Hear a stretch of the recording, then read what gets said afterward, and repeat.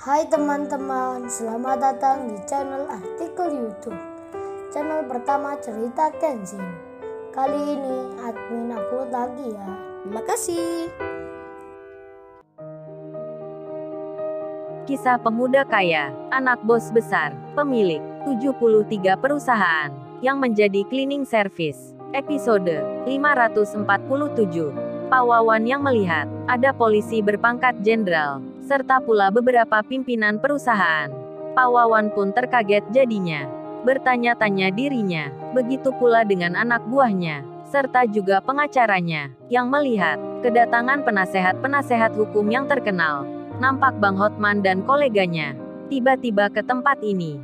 Pengacara Pak Wawan pun dibuat kaget jadinya. Mereka bertanya-tanya, ada apa memangnya? Apa ada kasus yang besar di sini? Pengacara Pak Wawan mengira, serombongan orang-orang itu hendak menyidak kasus yang penting. Sika yang bersama orang tuanya pun demikian. Melihat orang-orang berpakaian rapi yang datang ke tempatnya, Sika pun masih belum mengerti akan maksud dan tujuannya. Para warga pun sama, melihatnya semua, dan tamu yang baru datang itu. Bos-bos perusahaan yang sudah tiba, langsung menghampiri Kenshin. Anak buah Pak Wawan pun tak berani melarangnya. Mereka hanya melihatnya, orang-orang yang lewat di depannya. Dan para bos itu langsung menyapa. Mereka pun bicara, Tuan muda, kami semua memutuskan datang ke sini. Bersama pengacara dan aparat kepolisian. Akan membuat perhitungan secara langsung. Dengan orang-orang, yang sudah berbuat kurang ajar pada Tuan muda. Dan untuk para atasan yang lainnya mereka sudah memutuskan kerjasama dengan PT Kargo Bintang Utama. Jadi perintah Tuan Muda sudah dijalankan. Pak Wawan dan anak buahnya pun melihatnya. Mereka pun mendengarnya, terperanjat jadinya, tak bisa berkata-kata, hanya melongo di tempatnya. Kaget-kagetnya luar biasa, takut-takutnya tak terkira. Ternyata yang disebut Pak Rega di telepon baru saja. Orangnya ada di sini. Tuan muda yang dihormati. Pak jadi syok seketika. Pak Wawan pun ketakutan, karena melihat polisi berpangkat jenderal, sedang bicara dengan pemuda itu. Sika pun demikian, para warga pun sama, dibuat terheran semua, melihat kejadian, yang tiba-tiba di depan mata. Sika pun dengan samar mendengarnya. Cowok itu dihormati orang yang baru datang. Seperti disebut tuan muda. Sika merasa tak percaya, dan dilihatnya lagi, kartu nama yang ada di tangannya. Kenshin pekerjaan cleaning service. Tak ada yang spesial di situ. Tak ada jabatan lain yang terbaca. Sika pun jadi bertanya, mengapa orang-orang yang sepenting mereka menghormati cowok itu, mengenal dan menyapanya ramah, padahal dia kerjanya cleaning service. Sika merasa tak masuk akal sekali. Hal itu bisa dimengerti, karena memang dirinya juga melihat sendiri. Cowok itu dulu tinggal kos bersama Iwan.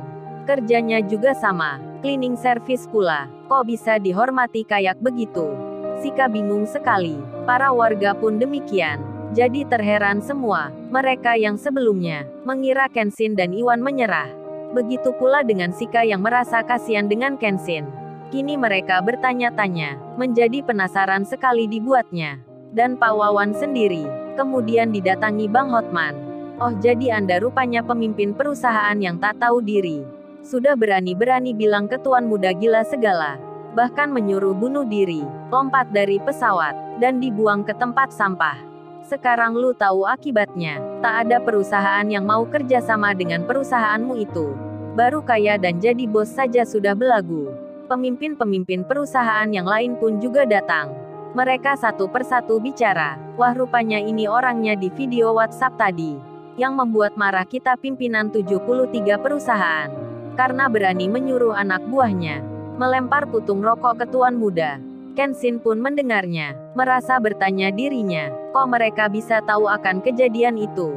Serta pula percakapan tersebut, Kenshin pun langsung menerka, pasti Iwan yang merekamnya, dan mengirimkannya pula, dan Pak Wawan yang bersama anak buahnya. Menjadi keder di saat itu juga. Bagaimana tak demikian? Saat ini ada polisi berpangkat tinggi, ada pengusaha-pengusaha ternama, ada pula pengacara yang hebat, yang tak sedikit jumlahnya, menghormati pemuda itu, dan ada di pihaknya. Pak Wawan yang baru mendapat kabar, akan perusahaannya yang berhenti, Kini jadi tahu dirinya, ucapan pemuda itu tak main-main. Bukan gertak sambal, seperti yang dikiranya. Pak Wawan pun sangat terheran sekali. Bercampur khawatir resah dan cemasnya yang tinggi. Pak Wawan bertanya-tanya, bagaimana anak itu bisa memerintah akan bos-bos perusahaan yang besar untuk menuruti apa maunya, padahal usianya masih muda, kok bisa mengenal mereka, serta punya pengacara yang hebat. Di tengah rasa gelisahnya, Pak Wawan jadi penasaran dibuatnya. Begitu pula dengan anak buahnya, serta penasehat hukumnya, yang belum mengerti Kenshin siapa. Kemudian Pak Jenderal pun datang. Bersama beberapa bawahannya, mendatangi Sika dan orang tuanya. Pak Wawan yang melihatnya, semakin takut dibuatnya. Pak Jenderal itu bilang, Oh ya Mbak Sika ini, saya baru saja mendapat cerita dari Mas Kenshin yang ada di sana. Katanya Mbak Sika ini pegawainya pengusaha itu. Dan diancam akan disita rumahnya. Dengar-dengar berdasar rekaman yang saya dengar tadi. Katanya Mbak Sika menolak perintah atasannya. Hingga pengusaha itu tak terima. Memangnya perintah apa itu? Sika pun dak dikduk dibuatnya. Begitu halnya dengan kedua orang tuanya. Tak menyangka ada polisi berpangkat jenderal. Yang menanyainya secara langsung. Sika pun menjawabnya dengan apa adanya. Kalau atasannya itu ingin mengajaknya hal yang tak baik, mengajaknya berbuat asusila dengan janji-janji naik jabatan. Dirinya berkali menolaknya, namun bosnya itu tak terima. Dan kemudian main ancaman, hingga ia melapor ke polisi. Tapi tak pernah ditanggapi. Jadinya rumah kami ini akan disita. Pak Jenderal pun mendengar semuanya. Pak Jenderal lalu berkata, oh ternyata itu benar adanya. Laporan yang tak ditanggapi itu karena mereka punya kenalan oknum polisi yang bisa diminta sesuai keinginan mereka. Banyak tidak usah khawatir. Saya akan memanggil oknum polisi itu ke sini. Termasuk yang tadi yang ikut berjaga dan mengawal pengusaha itu. Saya mau minta juga keterangan pada mereka. Saya akan pastikan, mereka tak akan berani berbohong untuk menjawab pertanyaan nanti.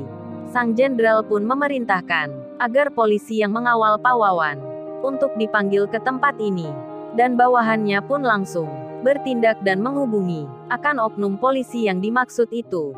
Pak Wawan dan anak buahnya, serta pengacara-pengacaranya, yang tadi mengaku punya kenalan polisi, yang bisa langsung memasukkan penjara Kenshin. Sekarang menjadi ketakutan semua, bahkan pengacaranya itu tak mengira.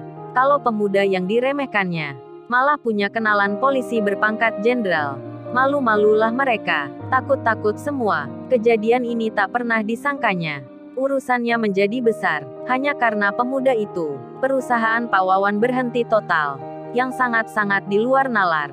Sedang Kenshin sendiri, rupanya mengajak Iwan tadi pulang, agar cepat-cepat meninggalkan tempat ini. Karena Kenshin sudah merasa sebelumnya, sudah bisa mengira dirinya, pasti ada pimpinan yang datang ke tempat ini. Karena ia sudah memberitahukan, ke grup WhatsApp 73 perusahaan.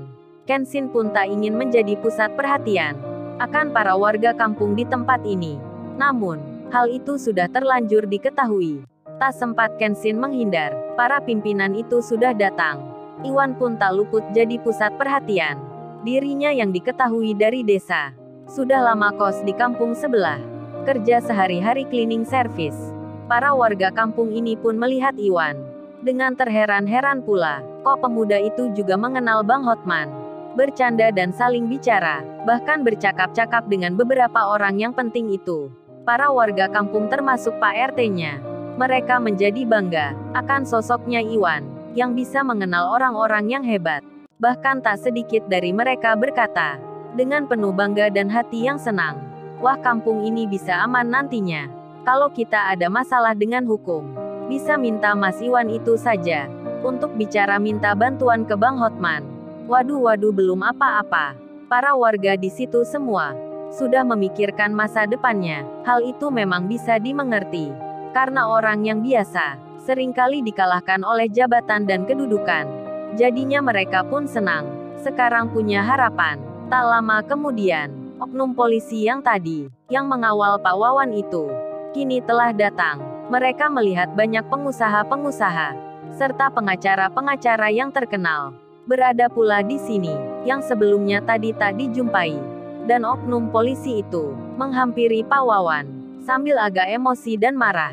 Mereka lalu bilang, Nah kan Pak Wawan, apa yang saya bilang, pemuda itu bukan orang biasa. Dia mengenal jenderal, pasti urusannya akan besar. Tapi Pak Wawan malah meremehkan, malah meneruskan, malah kita yang terseret jadinya. Sudah ku bilang akan jadi besar. Malah Pak Wawan tak percaya. Terpaksa saya harus berkata terus terang. Menjelaskan hal yang sebenarnya, karena Pak Jenderal itu orangnya tegas. Saya tak mau diberhentikan tidak hormat. Lebih baik dihukum daripada dipecat. Waduh waduh gawat-gawat. Oknum polisi yang sebelumnya menjadi pengawalnya Pak akan berkata membongkar kejahatan yang dilakukan dan tamat-tamat sudah akan Pak dan anak buahnya. Mereka terancam dipidana, termasuk pula pengacaranya. Lalu, bagaimana kisah selanjutnya? Subscribe channel ini untuk episode berikutnya. Terima kasih. Jangan lupa ya guys, untuk kelanjutan ceritanya ada di artikel YouTube. Jangan lupa subscribe ya guys dan tekan notifikasinya